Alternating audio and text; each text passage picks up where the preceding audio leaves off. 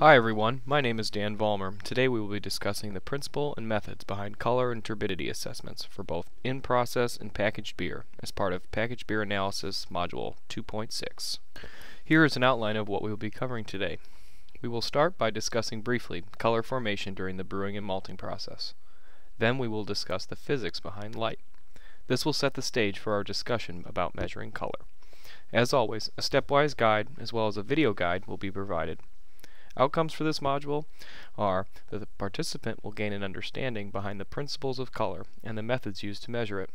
Additionally, the steps involved in making these measurements and the use of these values to maintain consistent color in brewing will be addressed. Color formation in the process starts early on during malting, where color precursors are developed during germination and kilning. Color is mainly the result of interactions between reducing sugars and amino acids via the Maillard reaction. This is a complex series of chemical reactions that result in not only color formation, but flavor formation too. Some factors that drive the Maillard reaction would be pH values greater than 7, temperature and time, low water activity, and the presence of precursor molecules, which are the reducing sugars and primary amino compounds. For those of you that don't know, amino acids are the building blocks of proteins, and they are ubiquitous in malt and serve as both color and flavor precursors. Color can also form secondarily from the oxidation of polyphenols from the malt, resulting in the formation of reddish-brown hues. However, it is primarily formed as a result of Maillard chemistry. Let's start the discussion of color measurements by first talking about light. Light is said to behave in two different ways, as a wave and as a particle. When I say behave, I am referring to the characteristics that dictate its function. In some cases, light behaves more like a particle, and in other cases, light behaves more like a wave. For the sake of this discussion, let's say that light behaves like a wave. A wave, shown in the diagram in the upper right, has attributes that categorize it into a class based on energy level. The principal attribute of a wave is its wavelength. That is defined by the Greek symbol lambda and is the distance between two wave peaks. As the distance in this wavelength increases, the relative energy of the wave decreases. This can be seen on the diagram where radio waves have wavelengths that can be a thousand meters long and are relatively low in energy, whereas X-rays or gamma rays have very small wavelengths and relatively high energies. Today, for the sake of color measurement, we are going to focus on what is known as the visible spectrum, located from roughly 400 to 800 nanometers in wavelength. Within this window, we get the colors red, orange, yellow, green, blue, indigo, and violet. Here are some color terms you should be familiar with. An object's hue is what we typically identify as its color, such as the block here. It is red. The lightness of an object refers to where it lies in the spectrum between dark and light. And saturation refers to the purity of color, and if it's a vivid red or a dull red. These are key terms that we'll be using in our discussion today about color. Now let's talk about the specific color measurement.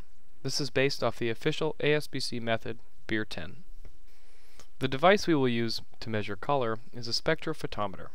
The Beers-Lambert law drives color analysis as we will be predicting the absorbance of a liquid sample. Don't worry too much here about the physics behind the measurement, just be aware that absorption is a function of a material's thickness, the concentration of the absorbing material, and the molar absorptivity value. The last one there, molar absorptivity, is an inherent characteristic of the object. Here's the schematic of a spectrophotometer. The sample is placed on the left, and light comes from the right and interacts with a cuvette that contains the sample. The sample is compared to a blank. Both the blank and the sample see the same wavelength of light, and the difference between the blank and the sample is what we are measuring. The ASBC has championed the formation of a single wavelength assessment of color. Color is the absorbance at 430 nanometers times the path length, or length that the light has to travel through the sample. Since most spectrophotometers operate with a 10 mm cell, some adjustments are made to account for the difference. The result is given in units of degrees SRM, or degrees standard reference method. So why 430 nanometers? First we need to talk about complementary colors. Every color that you see in the box here has its complement across from it. Red to green, yellow to indigo blue, etc. The wavelength associated with the complementary color is known as the wavelength of maximum absorbance. Because we are operating here at maximum absorbance, any slight change in concentration will result in a significant change in the absorbance of light. This occurs at 430 nanometers, which is the maximum absorbance for yellow, which, as you may know, is the color of some of the world's most popular beers. One of the challenges for beer color measurements is that there is no maximum or minimum absorbance. 430 was decided on, as I just mentioned, because of the large amount of beers found at this color. Here is a diagram of the colors of different beers given in units of SRM. This is a great chart showing you the spectrum of colors that are found in beers. Originally, beer color was measured in Lovibond units. This scale was based on a visual comparison between your beer and the standard colored solution. This measurement has been since replaced due to a better understanding of color measurements. Some issues with Lovibond surround the dynamic environment of the standard color solutions over time, as well as the percent of people, particularly males, who are colorblind. Alternatively, a more thorough method of assessing color is being implemented by the ASBC. This one involves a slightly more complicated measurement. However, with the proper equations, a multiple wavelength assessment can be converted into a tri-stimulus value. Tri-stimulus, or three stimuli, refers to the way your brain interprets color. En route to your brain, color signals are coded as a brightness signal and two separate hue signals. Remember, hues are what we typically identify as an object's color. Commonly, this assessment of color is referred to the LAB method. Each letter refers to one of the three signals headed to your brain. The L signal refers to the brightness and it is scaled from 0 to 100, with white being a value of 100 and black being a value of 0. The A refers to the yellow-blue hues. Negative values here refer to a more yellow sample and positive values to a more blue sample. And lastly, the B refers to the red-green hues. Negative values here refer to a more green sample and positive values to a more red sample. As you can imagine, a sample that is turbid will not assess similarly to a sample that is clear and free of haze or other particles. There is a convenient way to check this using a multi-wavelength assessment. If the absorbance at 700 nanometers is less than the absorbance at 430 nanometers multiplied by a factor, then the sample is not turbid. If the value is greater, then the sample is considered turbid and must be filtered using membrane filtration or can be centrifuged to precipitate the solids. As we have covered in other modules, the similar techniques apply here. Make sure the centrifuge is loaded in a balanced fashion. With regards to membrane filtration, it was discussed in the first module in the context of microbial samples and concentrating them. This can be used here to collect haze particles to allow for better color measurements. So just a note here on dark beers. As you can imagine, the darker your sample gets makes it more challenging for the spectrophotometer to interpret the absorbance. There are a few strategies to overcome this problem, however they can introduce some other issues as well.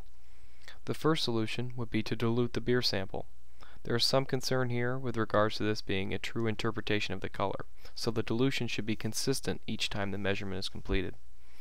There is some evidence to suggest that dilution could cause a change in the pH, offsetting the buffer system, actually changing the true color. Again, if you're going to go down this route, ensure that the dilution is consistent and includes the least amount of water possible to get your measurement. Alternatively, and at a cost, the cuvette used to make the measurement could have a shorter path length, and this might mean you have to purchase a new cuvette. There are cuvettes that have path lengths of less than 10 millimeters, and these don't require any dilutions and will probably give you the best interpretations of true color. Now we will cover a stepwise guide to color measurement. First we will collect our sample, degas, if necessary, calibrate our spectrophotometer, load the sample, take our measurement, and then use the spreadsheet from the American Society of Brewing Chemists to gather our calculated values. Only 50 mils of sample is required for this analysis. Additionally, you will need two clean, dry cuvettes that fit path lengths in the spectrophotometer. When working with cuvettes, it's a good idea to use Kim wipes to remove any smudges or fingerprints that are on the clear surface of the cuvette. You will notice that of the four sides of the cuvette, two are frosted glass and the other two are transparent. Be careful to only handle the cuvette by the, the frosted sides. Samples will need to be degassed for this assay, as bubbles in solution will cause misrepresentations of color due to light scattering. You can pour the sample back and forth, or use a sonicating device. Here at OSU, we will be using a spectrophotometer that can make multiple assessments of wavelength on one sample during one measuring run. Before we get to that, we need to get the device in control by setting the baseline and starting our calibration. The operation of the photospec is mainly controlled by the computer and the corresponding software UV probe. To begin calibrating, place Empty, clean, dry cuvettes in both ports in the photospec and close the lid. Go to the software now on the desktop and click Baseline and wait for the machine to respond. Once the baseline has been set, it is now time to load the sample. Remove the front cuvette only. This is the sample cuvette. Rinse the cuvette with sample three times and then fill it. Clean the outside with Kim wipes and then load the sample. Close the lid and move over to the software. With the lid shut, press the Start button in the UV Probe software.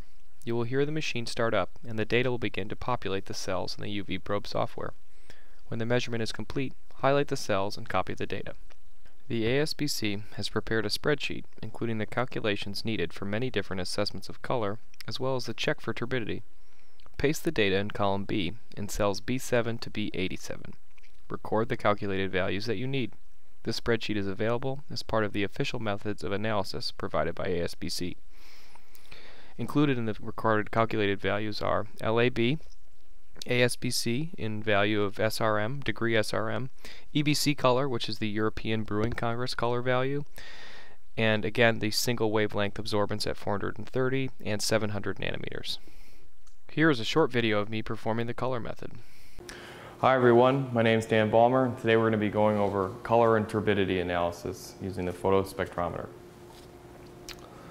So the first step here is to collect our sample and we want it degassed for this analysis because any excess bubbles will cause scattering of light inside the meter.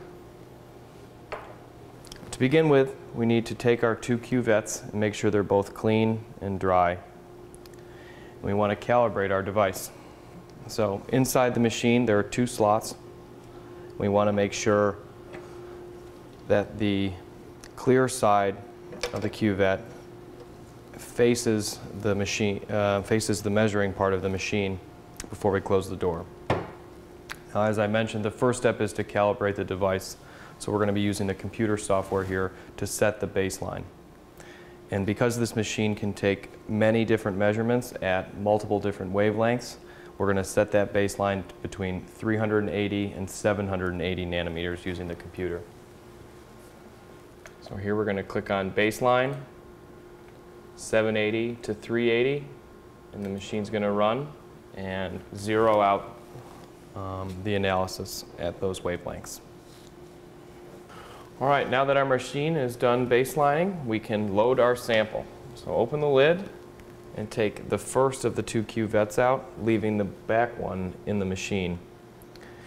And right now we want to take our sample and we want to fill our cuvette carefully and rinse. I want to do this three times. On the third time, fill to the top, like that. We want to clean off the edges using a Kim wipe, Kim wipes only, not to scratch this glassware. And as you can see here, the cuvette has a clear side and a frosted side. And you want to be careful to handle it only by the frosted side and not to make any smudges or fingerprints on the clear side. Now once we have our cuvette full, we can put it back in the slot, shut the lid, and now we can take our measurement. So again, using the computer software, we want to click Start, and it will make its run through the wavelengths. Now that the data is collected, we can copy it into the ASBC spreadsheet used for color analysis. Now this spreadsheet includes all the formulas that you'll need to get the LAB, ASBC color values. So we're going to select our raw data column that we just collected, copy, and paste it into the percent transmittance column B. And as you can see here, it will spit out all the values that we need for our LAB, our ASBC color, as well as the check for turbidity of our sample, as we discussed earlier. Record these values, and then that's it. Thanks. Let's briefly talk now about color and beer quality. If you were to open your favorite light American lager, and it happened to be colored like it was a Northwest Cascadian ale, you might think twice about drinking it. But maybe you wouldn't. I like to think of color as something you will only really take notice of when it's wrong or doesn't meet your expectations. Brewing quality, consistent products means every last detail, from the bitterness to the alcohol to the color, must be the same every time. Otherwise, you risk not meeting the consumer's expectation of your product. The porter stout example, I think, really drives this point home. Stouts are typically opaque and very dark. Porters, on the other hand, can be slightly translucent and colored dark brown. Keeping these lines defined with respect to color is huge when you are trying to make a certain style of beer. In an experiment where identical beers were taken and different levels of color were added to not affect flavor but only appearance, the results of the study indicated the beers with more color taste different according to the consumer, when in fact they don't taste different, but your brain is telling you otherwise. In terms of quality, consumers typically associate higher color with higher degrees of quality with respect to ales. In an experiment by Traina and Bamforth in 2004, Budweiser was colored to varying degrees up to that of an amber ale. Consumers believed that the darker samples were of higher quality. So to wrap up this module, let's talk about some of the high points. First and foremost, color is an important measurement that is essential to producing consistent brews that meet your consumer's expectation. Color precursors are formed during the malting process. More on this in the additional reading section. It is the standard method to make the color measurement at 430 nanometers, and this is by the ASBC standard method Beer 10. Lastly, LAB tristimulus values offer a comprehensive evaluation of color that can be used for precise calculations in blending in an offline setting. When you come to Oregon State, you will get hands-on experience with a spectrophotometer and be able to work with the ASBC spreadsheet to calculate color values. We can also discuss the origins of color in the brewery, as well as the issues surrounding beer quality and color expectations by consumers. To wrap up now again with your outcomes, the participant will gain an understanding behind the principles of color and the methods used to measure it. Additionally, the steps involved in making these measurements and the use of these values to maintain consistent color in brewing will be addressed. That's all for today. Thanks.